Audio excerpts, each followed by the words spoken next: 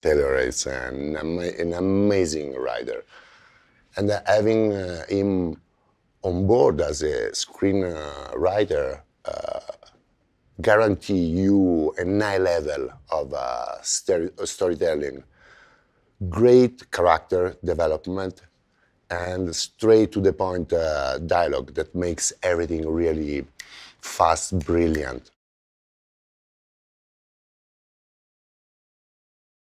The plan is pretty scary and simple. Is to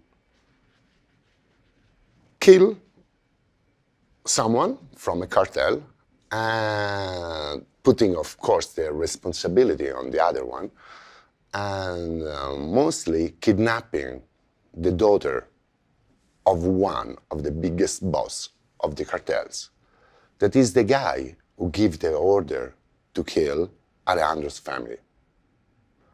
So the point is to kidnap the girl and release her in uh, one of the cartel's uh, territories and see what's happened.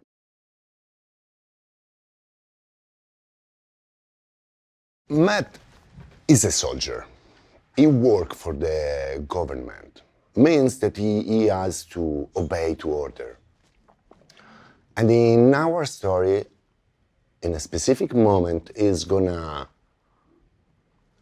have to decide if to go against the US gov government by um, feeling, uh, by uh, following his uh, moral point of view. And, but this struggle makes him a soldier, a pure soldier, because he, he cannot decide. He just has to obey order. Alejandro is uh, a completely different character because he's a lone wolf. He's, uh, he's moved by the rage of, uh, of uh, searching vengeance for what's happened to his family. And he works for Matt. That's it. So he has just uh, himself as a moral compass. And uh, in, in, our movie, he's gonna use uh, his uh, Sicario skills in, uh, let's say, in a different way.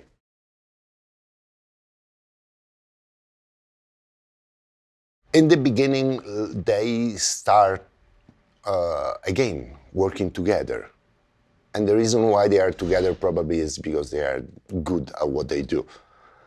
And for sure they have, uh, they trust and they like each other.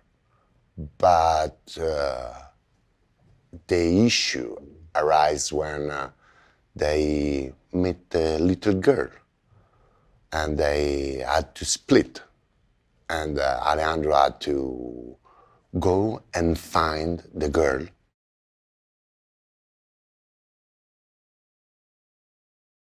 I like very much to, to work with uh, practical effects. I like also VFX, but I feel that in, uh, in uh, more you do practical and more you have uh, a reaction from the actor. Means that putting an actor where you have a real explosion all around him helps, really helps him in making the, the perf performance. So we did uh, an incredible work of uh, prep in this uh, sequence. And then the, the most complicated part was to shoot almost entirely the scene from inside the, the, the Humvee because we had an incredible amount of effects really close to our actors.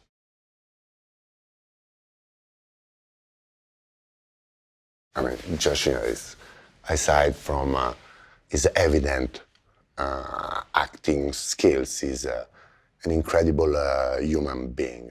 And uh, as an actor, he has a, a, a really great skill that he, he get and he get the entire scope of the movie. Means that he knows perfectly where his character is in, in a moment, but also where all the other characters are.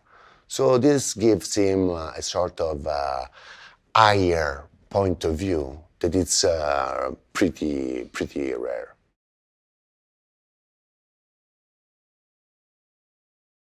To watch Benicio in, immersing in, uh, in the character, it's, uh, it's an incredible experience because it's, it's like he enter so completely in the character that everything he does makes sense, not for himself, but for the character. And then I, am talking about small things, small props around him. And this is amazing, he, the, um, the ability he has to build the character.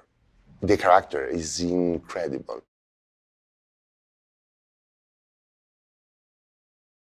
Isabela she is a, a young adult.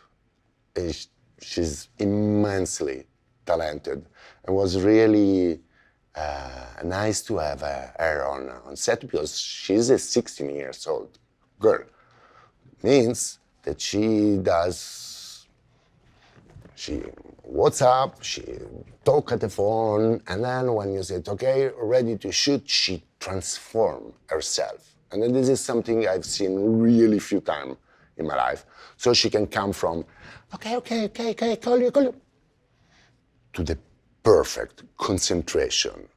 Uh, so in, in a way, she gave to the character exactly what we needed because it's like Isabella, the character, is uh, an old young means that is uh, a young girl that has that have has seen a lot. So I think she she gave to the movie an incredible, an incredible touch, and she's so amazing.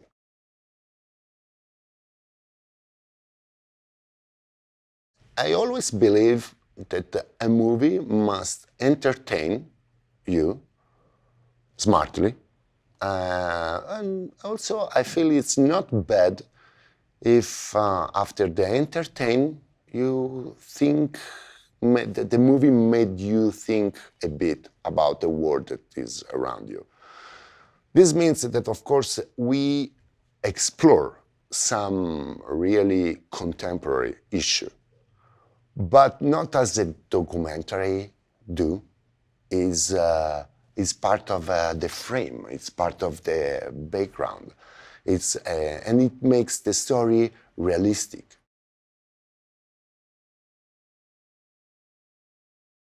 By shooting in a location, you're going to, to feel the authenticity, the reality around you, even with small detail. But I feel uh, they are really, really important, especially if you um, work with the story that uh, are uh, um, set it up in a specific place. Like uh, Soldado is uh, a story in the border, so it was of course impossible not to go there in the desert and uh, shoot in cities really close to the border to get to get the real feeling of our story and of the truth.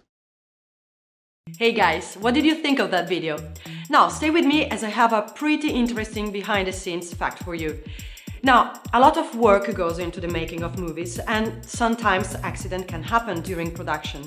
The largest number of fatalities ever in a production of a film occurred during the shooting of the 1931 film Viking, when a ship they were shooting from exploded in the ice off the coast of uh, Newfoundland. 27 people died, including producer and co-director Varick Frissell, as well as collaborator A.G. Penrod. The incident is one of the most infamous in movie history, and the film was made in tribute to those who lost their lives. The opening cards describing the accident and the film are genuinely touching. On that sad note, I will leave you and remind you that we publish new videos every day, so be sure to subscribe for more great content. See you soon!